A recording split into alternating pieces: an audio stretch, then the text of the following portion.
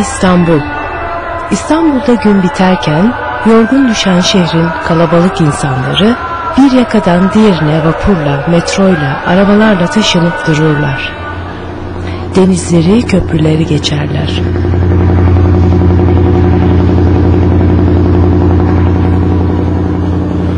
Bu koşturmaca her gün devam eder.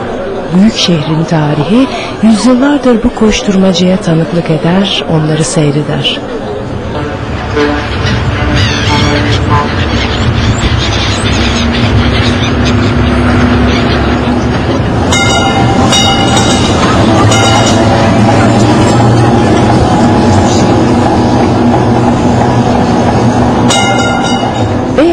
İstiklal Caddesi her İstanbullunun günün herhangi bir saatinde geçebileceği bir yer.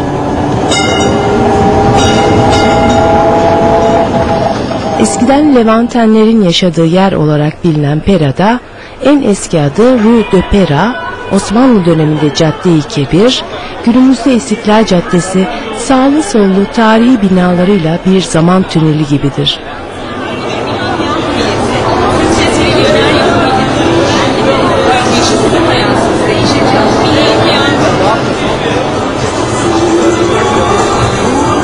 Türlü sesler, ışıklar ve renkler içinde bu tünelden geçerken başka bir tünele daha girilir. Küçücük, sevimli bir tünele.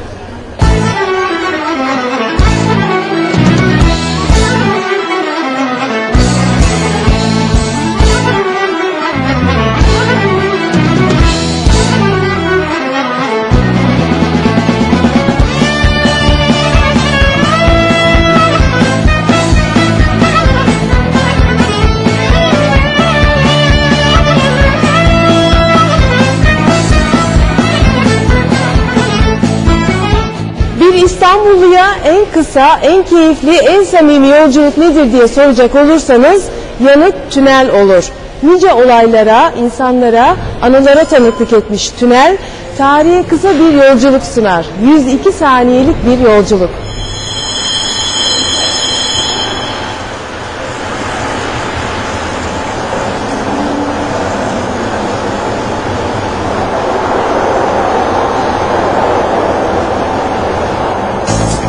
thank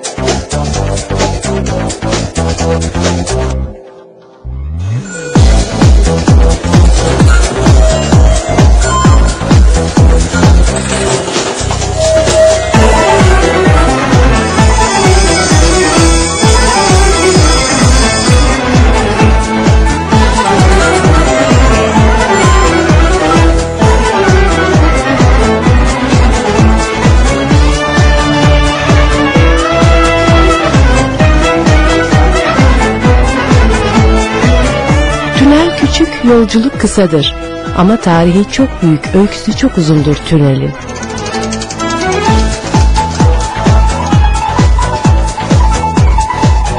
Gün boyu Beyoğlu'ndan Karaköy'e, Karaköy'den Beyoğlu'na geçen insanlar bu tarihi tünelde zor bir yokuşu, yüksek kaldırımın 100 yıl öncesinde terleten, yoran yokuşunu kolayca çıkarlar.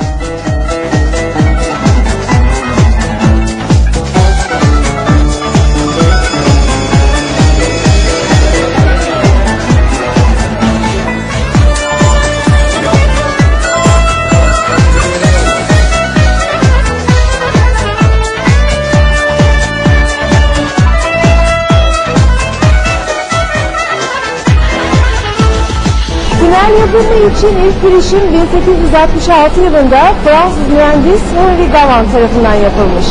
Gavan'ın bu projesi o dönemlerde bazı insanlar için bir ütopya gibi gelmiş. Ancak bu ütopya tam 132 yıldır Karaköy ve Beyoğlu semtlerini birbirine bağlıyor.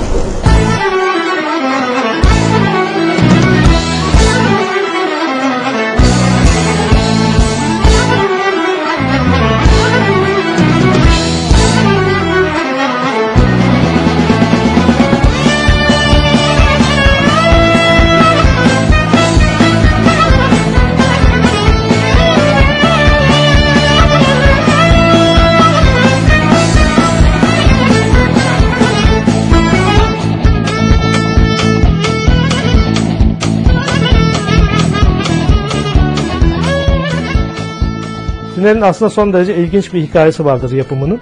E, şimdi 1867 yılında e, Henry Gavan isimli bir e, Fransız mühendis e, turistik amaçlı Türkiye'ye gelmiştir. Burada İstanbul'u gezerken e, Galata ile Beyoğlu arasındaki e, olağanüstü yolcu trafiği dikkatini çekiyor. E, şimdi o dönemde Galata bir iş merkezi dolayısıyla yoğun bir nüfus barındırıyor. E, bunun yanında Beyoğlu işte sefahathanelerin bulunduğu yer aynı zamanda ikametgah amaçlı kullanılıyor ve eğlence merkezi. Dolayısıyla şimdi bu iki merkez arasında gerçekten çok gidip gelen insanlar var ve bunların kullandıkları yer e, yüksek kaldırım. Yüksek kaldırım ulaşımı zor bir yer. E, eğimi bir aylı yüksek. E, dolayısıyla Gavan bunu görünce e, burada yer altından giden bir ulaşım aracı yapmayı aklına getiriyor. E, düşündüğü şey şu. E, birbirine kablolar aracıyla çekecek iki va- vagon yolcu taşıyacak ve bunlar e, işte Beyoğlu'ndan Galata'ya inecekler veya Galata'dan Beyoğlu'na çıkacaklar. Şimdi kafasında bu projeyi hazırladıktan sonra Osmanlı hükümetine başvurmuştur.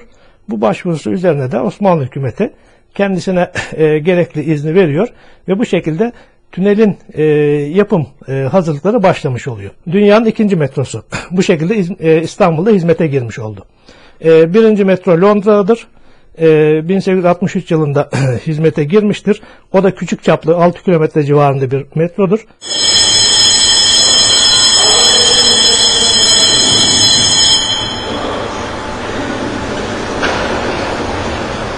Tünel dünyanın ikinci metrosu. Bugün çevresindeki semte adını da vermiş, işlevini koruyan, yaşayan tarihi bir simge.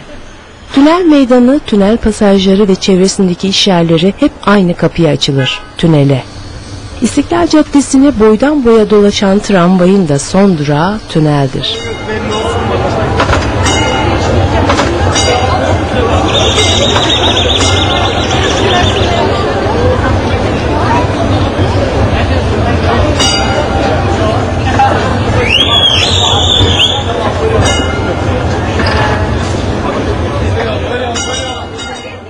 1875 yılında açılan e, tünelin teknik özellikleri o zamanın şartlarının en iyi teknik özelliğini taşıyan bir sistem. Tabii ki e, 1875 yılında elektrik yok. Tüneli buhar enerjisiyle çalıştırılma durumuyla karşı karşıyayız.